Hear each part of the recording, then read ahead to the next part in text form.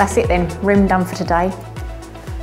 Wall down, cables all tidy, some lights up so we can see, all ready for tomorrow.